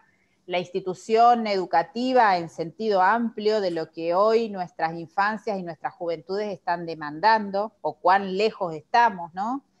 Eh, este, este vínculo con las con el uso de las tecnologías, bueno, una cantidad de, transformaciones y de cuestiones que, bueno, que nos dejaron pensando mucho y que, se retraducen como aprendizajes, pero también como desafíos, creo yo, ¿no? Eh, yo diría eso para no monopolizar mucho más, por ahí este, Coco quiere completar con algo, o vos, eh, Norberto, que también estuviste siendo parte del proceso nuestro. Sigamos con Coco y eh, bien, no, sí, algo, algo breve. Yo me quedé pensando en esto que había, había planteado, que lo tomé de lo que había dicho Vero, eh, respecto de estos desafíos éticos políticos y desde dónde se posiciona la universidad para, asumirlos. Eh, y en este tipo de, propuestas de extensión, cómo empezar a, generar una nueva mirada de eh, las tramas relacionales que hoy vos, Vero, hablabas en relación a esto, eh, y, ver qué es lo que pasa, cómo, cómo, vamos, cómo nos deconstruimos y cómo vamos reconstruyendo las propuestas, eh, desmitificando algunas cuestiones vinculadas a la universidad y, y, generando nuevas propuestas territoriales, obviamente. Sí, yo creo que hay, que hay muchísimas posibilidades de, generar espacios como el que tuvimos y que siga habiendo, porque la universidad lo sigue teniendo y, sigue participando. Eh, entonces me parece que, que, nada, está, nada está terminado ni definido, eh, que estas propuestas siguen para, sirven para, para tener en cuenta la producción de conocimiento, eh, de, nuevos saberes eh, y que las tenemos que, tomar y trabajar y, aprovecharlas, obviamente. Bien, eh, dos cositas. del chat, Elsa Villaflor, además de dar las buenas tardes y recordarnos su nombre, nos dice que es educadora social y plantea que es muy interesante el proyecto y que mm, lo están compartiendo el trabajo de campo. Eh, pregunta si está publicado y poder leerlo. Sí, efectivamente está publicado. Yo mencioné al comienzo, fue una tarea colectiva, pero que tuvo un liderazgo en Verónica eh, y está publicado y se, puede encontrar perfectamente eh, con el nombre de sistematización de experiencia socioeducativa en la biblioteca virtual de UNIPE. Em, y ahí está eh, el campo de análisis que se ha hecho y que en gran medida lo han representado las dos exposiciones. Yo quería detenerme en un solo punto antes de pasar la palabra eh, a este colectivo de colegas y, los que están presentes. Eh, los jóvenes del fondo, creo que los denominó así Juan Carlos, digo para no tener que hacer demasiadas descripciones. Los jóvenes del fondo y el centro del pueblo. La definición de fácilmente visibles cuando los jóvenes del fondo estaban en el centro, sin embargo invisibilizados. Pero además con altos grados de estigmatización al extremo que ante la sospecha de que uno de esos jóvenes del fondo pudo haber sido, pudo haber sido autor de una situación no probada de delito, una parte de los del centro decidieron que había que quemarle la casa. Eh, el caso extremo que, relató, eh, en realidad me parece que también nos lleva al plano de el momento político, institucional, social, que está implicando una profunda batalla cultural en las instituciones educativas, en las instituciones de salud, en las instituciones de la protección social, en las instituciones comunitarias. Hay una penetración muy fuerte que tiende ya no solo a que se registre a estos sectores excluidos como destinatarios de miradas tutelares. No, no, no. No son miradas tutelares. Son miradas de la exclusión y del descarte. Se ha agravado. Casi diríamos que frente a esto la tutela era un sistema que protegía de derechos. Y creo que este debate, esta batalla cultural, es necesario que la universidad la suma. Y la suma dentro y fuera de sus aulas. La suma en sus aulas teniendo en cuenta la diversidad de realidades con las cuales tiene que conectarse en función de la formación continua o la de la formación de grado. Pero tiene que conectarse también a través de sus proyectos de extensión, que tienen el mismo nivel de importancia de la formación y que la investigación. Pero además la universidad necesita reconocer estas realidades no solo para no ser insensible ante las mismas, sino para revisar sus contenidos de formación. Cuando el contexto nos está indicando que cuando hablamos de adolescencia, el 60% está en la pobreza y casi un 50% en edad de escuela secundaria está fuera del sistema educativo dentro de una legislación que ha establecido la obligatoriedad de la escuela secundaria. La universidad tiene necesariamente que hacer un reconocimiento de esta realidad y ser parte del debate, ser parte de la batalla cultural. Y ser parte significa compromiso, integración, significa vivir la experiencia, pero también sistematizarla y comunicarla. Por eso es muy importante lo que nos plantea Elsa. La puedo leer, sí. Y, y la universidad tiene el deber de poner esto a disposición.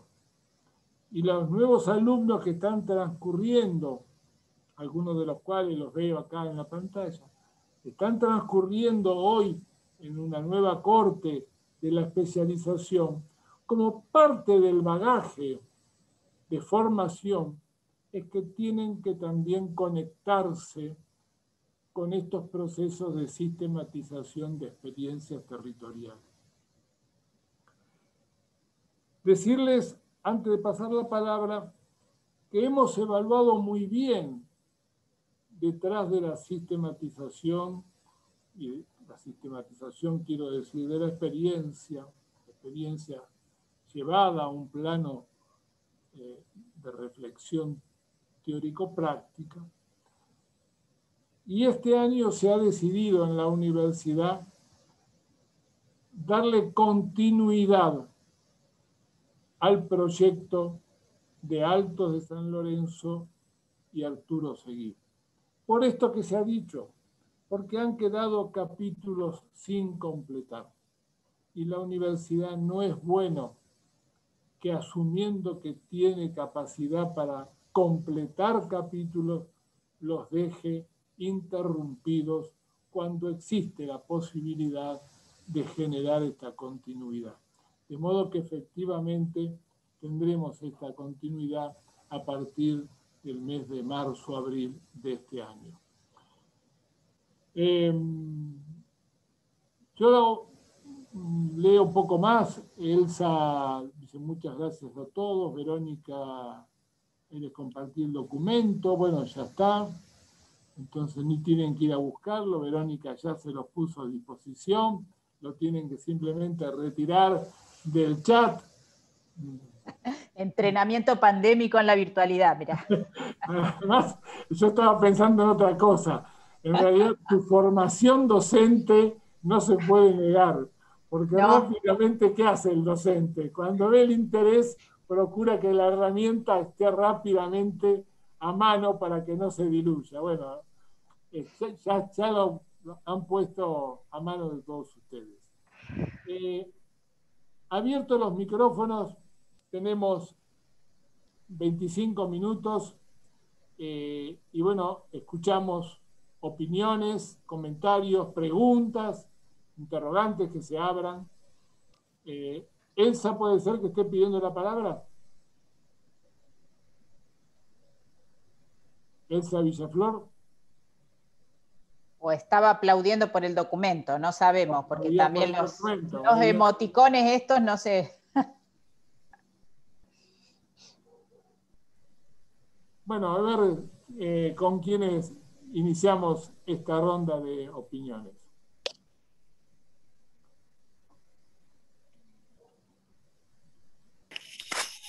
Bueno, hola, buenas tardes. Hola, Mónica. ¿Cómo les va? Bueno, un, placer escuchar a, docentes que tengo acá en, la universidad y a compañeros también como Coco. Em, lo relacionaba también con la charla que dieron Adriana y Adrián, sí, con las experiencias sociocomunitarias que, que contaron y el debate que fue, fue muy rico también. Y, mm, y, esto que decía Norberto de la Universidad del Territorio, lo que decía, Verónica dijo algo que me pareció súper simbólico. Nosotros pensamos que con que esté el espacio, eh, el lugar, el horario, iba a estar la convocatoria, ¿no? Em, y ahí tiene que ver, me parece que con esto de, de que la mirada sociocomunitaria, la mirada territorial, la mirada del contexto, o la ausencia de esa mirada, o de tenerlo realmente, de conocerlo, hace que muchas veces también las políticas públicas no puedan llegar a los objetivos que se plantean, porque la convocatoria de por sí pensada fuera del contexto no, no, no resulta muchas veces. En esto me planteaba simplemente cuando Norberto decía el, el rol de la universidad. Eh, como incidencia, la incidencia que, tiene la batalla cultural, sobre todo en las formaciones de docentes y, de los profesionales de la educación, eh, el desafío que tenemos de aprender muchísimo de la educación popular, eh, muchísimo de, las, de los dispositivos y las estrategias comunitarias para esto, ¿no? Eh, cuánto romper un poco esa dicotomía que existe, ese antagonismo entre educación formal y educación popular, ¿no? que muchas veces para mí es una falsa dicotomía porque en realidad hay una educación y se tienen que nutrir ambas. Eh, trabajando en los territorios también eh, se visualiza o se visibiliza y se escucha la demanda también y el reconocimiento de muchas herramientas que aporta el mundo académico y que las organizaciones sociales luego la valorizan, aunque quizás al, principio había como un poco de recelo frente a lo que viene de la universidad o del mundo académico. Entonces, en este sentido, digo, qué bueno que existan estas experiencias que abren camino para eso, que abren el camino para poder enriquecerse mutuamente y para que la educación formal, que más allá de que hable este título de formal, digo, es educación y que aspiramos con la, con la ley y con la mirada de derechos a que sea una educación con enfoque de derechos y que sea realmente un derecho y que pueda ser percibido por adolescentes, sobre todo adolescentes, digo por la situación que mencionaba Norberto, ¿no? Por adolescentes como un derecho, realmente. Entonces, cuando es percibido como un derecho, me parece que podemos llegar a avanzar más. Entonces, celebro ese camino, me parece que el mundo académico debe todavía ahondar en ese, en ese camino de, tomar todo lo necesario de, las propuestas y estrategias comunitarias eh, y aportar in situ, en el territorio, aportar eh, las herramientas que las organizaciones y la comunidad también demanda, necesita. Y bueno, muchas gracias, un placer escucharlos. Gracias, Mónica escuchamos a cualquiera de ustedes que tenga alguna reflexión para aportar o alguna consulta para hacer, son muy bien recibidos, recibidas.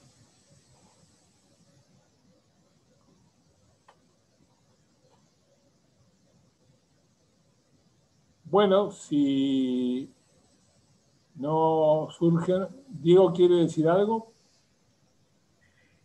Diego Manrique. Habilito el micrófono, Norberto. ¿Qué tal? Buenas tardes a todos. Buenas tardes. Pido disculpas porque quería presenciar en su totalidad eh, el encuentro de hoy, pero bueno, eh, estamos organizando el inicio de clases y estamos entre reunión y reunión de Zoom. Em, en verdad yo estoy en una instancia de, aproximación a la, sistematización y, de, conocerla y de entenderla, y un poco lo que contaba Juan Carlos, hasta donde yo puedo escucharlo, en llevarla a un, campo real, ¿no? a un trabajo de campo real y concreto, en el marco de la elaboración de mi, trabajo final de la especialización. Eh, y me he encontrado con, con varias cuestiones, ¿sí? Eh, y me parece que la más válida de eso es algo que yo eh, tenía como cierto resquemor o temor, como alumno me refiero, eh, que es que la virtualidad no me lo iba a permitir. ¿sí? sistematizar a la distancia, sistematizar a partir de un Zoom, sistematizar a partir de un mail. Cuando yo lo pensaba esto, decía, pero esto va a ser muy complejo, va a ser muy difícil, pero bueno, era la realidad y era el contexto que me tocaba trabajar eh, a la hora de, poner en práctica mi, trabajo de investigación, ¿no? Eh, y la verdad que la práctica y ese trabajo de campo con ese contexto particular eh, fue totalmente diferente. La predisposición de los docentes, la predisposición de las, de las instituciones que yo seleccioné para trabajar, y fundamentalmente la predisposición de los estudiantes, ¿sí? En mandarme algún que otro correo, alguna que otra foto, eh, recomendarme alguna página, recomendarme un archivo de audio, eh, comentando qué hacían, qué no hacían, cómo lo hacían, cómo no lo hacían, para que yo pudiera obtener el dato preciso y necesario para mi trabajo final, hizo que la sistematización para mí rompiera los esquemas de lo que había leído de todo el material que nos había dado Verónica en la cursada del taller 1 y en la cursada del taller 2. Y me parece que es un avance. Yo en las conclusiones lo tengo ahí boceteado. Verónica, pronto te entregaré el trabajo. Sigo trabajando. Qué gran noticia, Diego. Sigo, sigo trabajando que no tengamos contacto por mail, pero bueno, hay muchas cosas en el medio. Eh, lo voy a poner porque me parece que es un avance y, como decía Norberto recién, y un poco lo que decía eh, Juan Carlos, cómo tenemos que volver a construir un, nuevo trabajo de campo en este contexto. ¿sí? nos pasa en la escuela, día a día, nos pasó en el 2020, y creo que esto nos va a pasar en todas nuestras instancias, ¿sí? Como alumnos, como docentes, eh, eh, como, como practicantes de, algo que en este caso es la, educación, el, trabajo real, eh, el querer lograr en ese trabajo, porque tampoco es una formalidad, ¿no? Hay, hay una intencionalidad producto de, algo que uno quiere investigar en, este caso o de que uno quiere enseñar en el caso de la escuela y aprender también en el caso de la escuela y en este caso. Pero un poco contar esto, ¿no? que es la experiencia que yo eh, tuve en el marco de este concepto que nos convoca hoy, que es la sistematización de experiencias en, educación y en proyectos que tienen que ver con lo, educativo y con, y con lo social bueno, que ya lo leerán y ya verán la, cómo fueron mis avances. Muy bien. Eh, bueno, buenas tardes. ¿Cómo están? Hola Diana, ¿cómo estás? Bien, bien, muy bien. Estaba escuchando atentamente porque yo fui docente de esa escuela, de la escuela de Segui, eh, antes de que estuviera, hace bastante tiempo, antes de que estuviera el edificio nuevo y mm, lo que me llamaba la atención es cómo uno por ahí yendo a, la escuela y no transitando por la comunidad, tiene una visión, todo lo que ustedes contaban, ¿no? Súper parcial y que, y que hasta no lo podés ver estando en la escuela, ves una, parte. Y, y, por ahí también uno ve lo que uno puede hacer o la intención de uno o de algún grupo de profes que sí quiere avanzar en ese sentido, pero que por ahí no es la totalidad. Entonces pensaba en, lo importante que es que este tipo de trabajos se den a conocer en la misma comunidad y aún dentro de la misma gente de, los profes de la escuela, todo el equipo, los equipos escolares.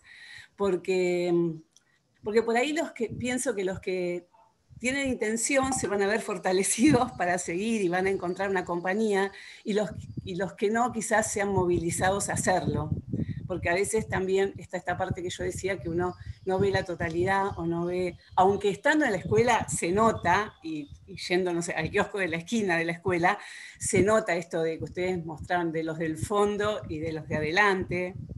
Eso sí, se percibe un montón porque los mismos chicos lo comentaban en el aula. Eh, y la soledad de esos chicos se siente en el aula.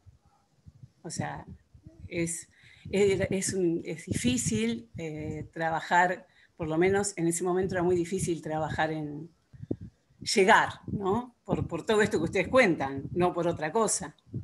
Llegar y comunicarse con ellos, un trabajo arduo.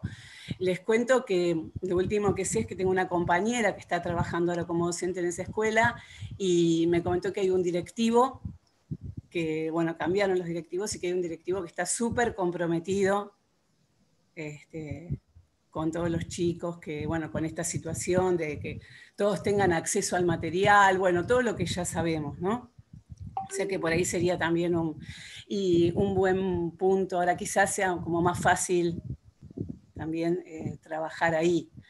Este, y también humildemente, por más que no termine todavía el trabajo de la especialización, pero por ahí sí, desde si puedo colaborar con algo, este, bueno, me, sumo también porque, porque me interesa el, trabajo. Yo sigo siendo docente de otras escuelas eh, en La Plata y la mayoría con situaciones así de vulnerabilidad.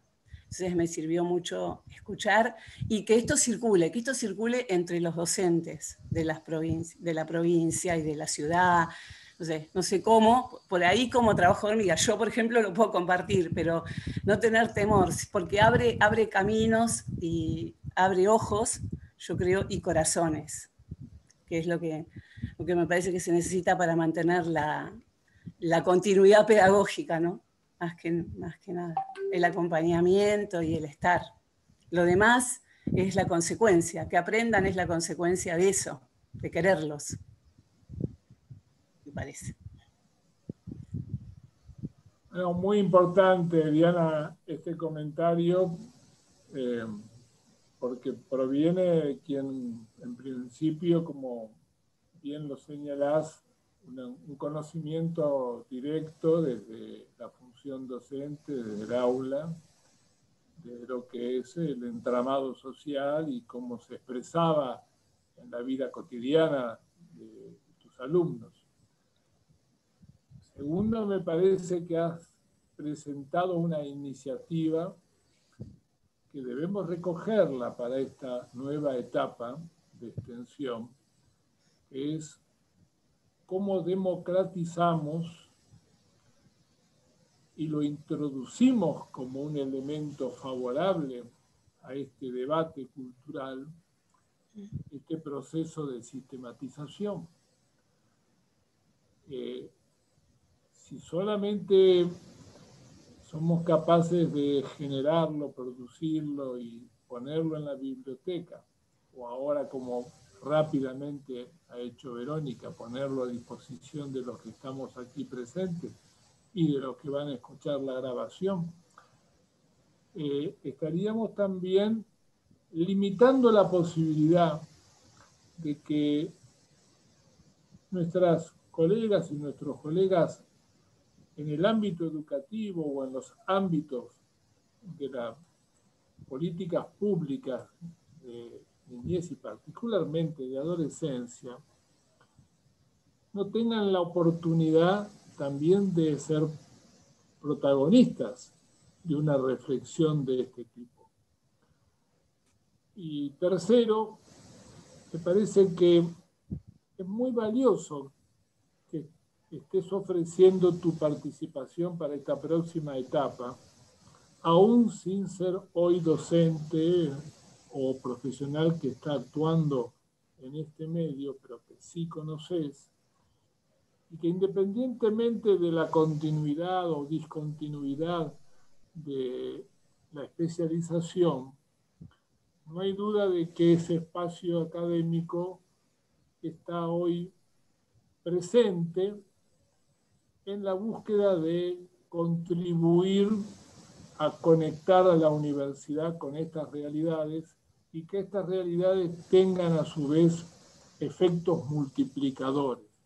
Y un efecto multiplicador es cómo nosotros logramos que esta sistematización, como lo has dicho vos, lo estoy repitiendo, recorra, pero no recorra de manera simplemente como material de lectura, recorra para generar debate, para abrir reflexiones, para poner en interpelación criterios, modelos de trabajo sobre los cuales tal vez tengamos necesidad de producir revisiones para atender realmente a un esfuerzo de mayor igualdad en el derecho social educativo.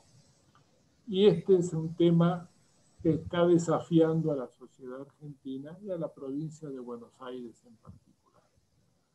Eh, hay otros desafíos, por supuesto, en paralelo con esto, pero la desigualdad, comenzar a vivirla en términos de naturalización sería uno de los grandes fracasos de un proyecto educativo. Vivir incómodos con la desigualdad implica estar atentos a generar iniciativas que busquemos de una manera u otra recortarla, reducirla, ampliar las posibilidades de mayor equidad en el ejercicio de los derechos. Así que me parece excelente los, tres aspectos que surgen de tu intervención y por supuesto que lo tomamos rápidamente en cuenta para ir proyectando la nueva etapa. No sé si alguien más de los que están en la sala quieren agregar algo. Si no es así, le pedimos a Juan Carlos y a Verónica una conclusión final y vamos cerrando en los últimos minutos que nos quedan. Puede ser Juan Carlos que comience y cierre. Bueno, bien. Eh, Sí, me quedé pensando lo que iban diciendo y, lo que fue la experiencia en sí y, algunas situaciones ¿no? que, por ahí se utilizan eh, cuando uno trabaja en la comunidad, en los barrios, eh, y, algunos prejuicios están instalados o temores. Yo me acuerdo cuando empecé a ir a Arturo Seguí, una de las primeras cosas que, que me dijeron fue tener cuidado donde dejaste el auto. Porque suelen desquitarse mucho con los autos que están parados cerca de la escuela. Eh, entonces yo decía, bueno, lo dejaré no sé dónde. O sea, si voy hasta la escuela, lo dejo en la escuela. Y, a veces esas eh, ideas que, dan vueltas se transforman en, ejes de los, vínculos. Eh, si yo me tuviese que preocupar por dónde dejo el auto cada vez que ando en la calle, viviría preocupado por ahí, pero bueno, vivo tranquilo y sé que el auto es una herramienta de trabajo, la uso, voy y vengo y estoy en distintos espacios y eh, si tiene que pasar algo, pasará. Pero, pero creo que a veces esos miedos tienen que ver en cómo, cómo vamos construyendo los vínculos y cómo dialogamos con, con el otro, cómo dialogamos dentro de cómo pensamos al otro y en estas situaciones puntuales, cómo pensamos a los y las jóvenes. Eh, yo he laburado mucho tiempo en la escuela secundaria eh, y a veces me sorprendía y me preocupaba la conceptualización que tenían compañeras y compañeros docentes respecto de los jóvenes. Eh, y, era difícil revertir, más allá de que uno discutía esas cuestiones. Eh, pero bueno, si no, si, un docente no, no logra ver a un o una joven como un sujeto eh, deseoso de, aprender, de crecer eh, y de moverse, difícilmente se pueda entablar un diálogo que, nos ayude a crecer a todos. creo que pasa, a veces pasa por ahí y tenemos mucho trabajo, mucho trabajo por delante.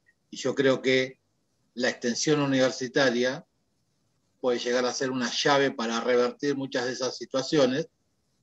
Eh, a veces de forma un tanto forzada y a veces de forma un tanto sencilla o liviana, pero creo que es una, gran herramienta eh, y, creo que la, extensión universitaria, en este caso de la UNIPE, con las propuestas incluso que, va generando la UNIPE, eh, tiene, tiene ese sentido y es uno de los ejes, ¿no? Eh, revertir esas situaciones, generar eh, eh, espacios donde se puedan revisar las prácticas institucionales, ya sea de las instituciones educativas como de las organizaciones sociales, y eso me parece súper, pero súper valioso y creo que es un valor en sí mismo.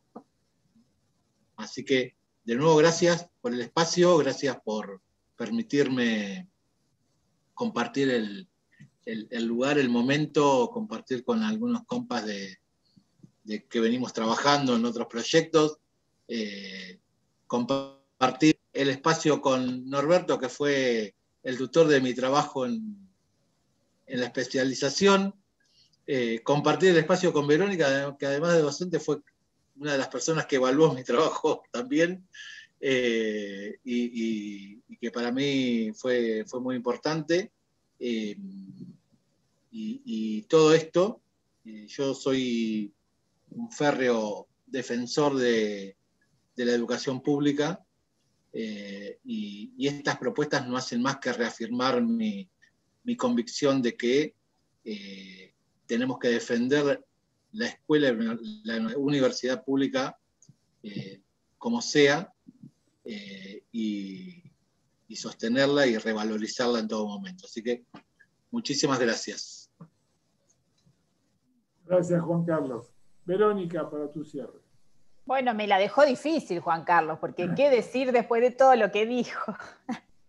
No, en principio agradecer a quienes nos han acompañado en, esta, en este encuentro obviamente suscribo a todo lo que fue este, planteando Juan Carlos y me quedaba así como pensando en algunas de las intervenciones que hacían las, compañeras, digo, y nada, digo, me, parece que también en todo el proceso hay una, fuerte interpelación a, la universidad, ¿no? Digo, también eso me parece que es algo eh, interesante de poder situar, eh, porque también esa concepción eh, ha calado hondo como, como, dicotomía o como distanciamiento, digo, ¿no?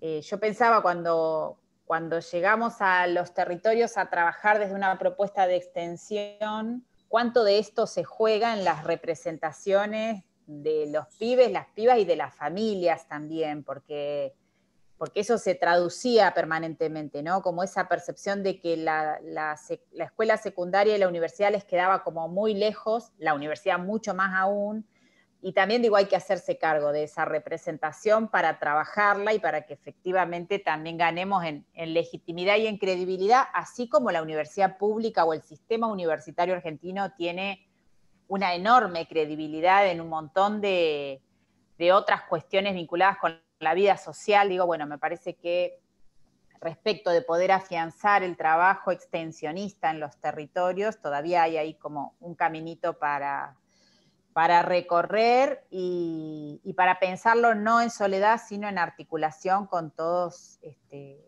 las organizaciones, fundamentalmente las organizaciones y las instituciones que están cotidianamente en los, en los territorios. Así que bueno, con esta noticia que, que nos da Norberto de la posibilidad de profundizar, bueno, en el medio claramente todo el equipo, yo creo que motivado por, la impronta de, Norberto en cada uno de los espacios donde va pasando, estamos así como una usina de pensar y de proponer iniciativas. Y bueno, la escuchaba a Diana, digo, sí, la verdad que estaría buenísimo pensar una revisión y, y uno va pensando en este proceso de conquista y ampliación de derechos, no sé, digo, cuánto eh, cuánta falta hace también el trabajo en los territorios respecto a educación sexual integral, algunos esquemas de consejerías, donde la universidad pública tiene mucho para poner ahí, de interrupción legal del embarazo, de acompañar las maternidades adolescentes, que más allá de que siempre las vivimos como un problema a evitar o a prevenir, lo cierto es que en los sectores populares nuestras pibas todavía este, siguen atravesando situaciones de maternidad temprana edad. Digo, bueno, parece que hay como un campo muy amplio en esto de avanzar en la efectivización de, derechos, eh, más cuando avanzamos con la conquista, con conquistas históricas, digo, ¿no? Creo que la ley de educación sexual integral y la ley de interrupción voluntaria del embarazo son dos íconos muy fuertes que nos marcan como unos pasos bastante adelante de todo lo que hay que lo que hay que construir.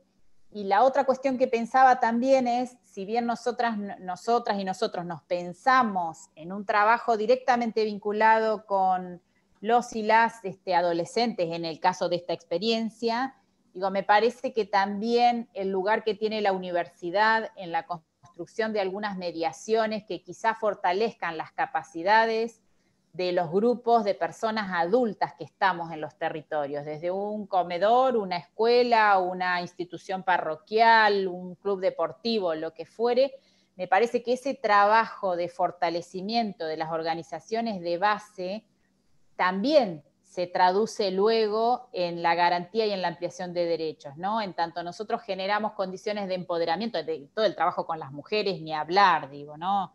No solo de prevenir las violencias de género, sino de generar sinergias de empoderamiento, de, toma de espacios, de toma de la palabra. Bueno, me parece que son todas acciones que claramente se pueden inscribir en distintas líneas dentro de la extensión universitaria y que indirectamente contribuyen a fortalecer derechos y a fortalecer esa condición de las niñas reconocidos como sujetos y, sujetas de derecho, habilitar otras condiciones para la escucha, bueno, para el acompañamiento, situaciones que son sumamente necesarias y que se necesita este, de, todos y todas, digo. Así que Diana, bienvenida y el resto de las compañeras y compañeros que estén para, sumarse, me parece que es este, repotente esa idea de colectivizar propuestas, preocupaciones y, bueno, poner el cuerpo, la virtualidad, según cómo se vaya dando este contexto para, para poder avanzar, ¿no?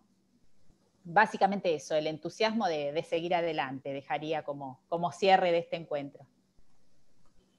Muchas gracias, Verónica. Efectivamente, como acabas de decir, estaba convocado para reflexionar sobre una práctica que se había generado y que había logrado ser sistematizada.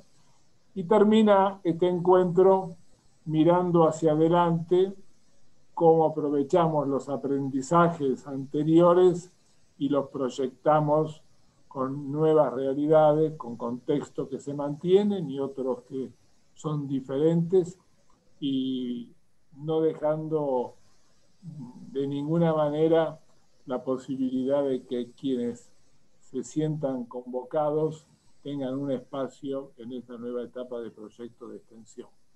Así que ha sido, me parece, eh, muy valioso el encuentro, cada una de las exposiciones y las intervenciones de ustedes asistiendo a la sala.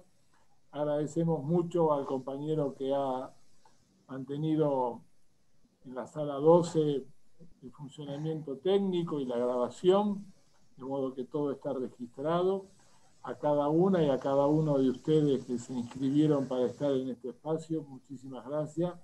Y entonces, Verónica, Juan Carlos, eh, alumnas como Mónica actuales, eh, también vi que estaba Josefina Coronel, eh, invitadas a dar una nueva etapa en el proyecto de extensión 2021 en Altos y en Seguir.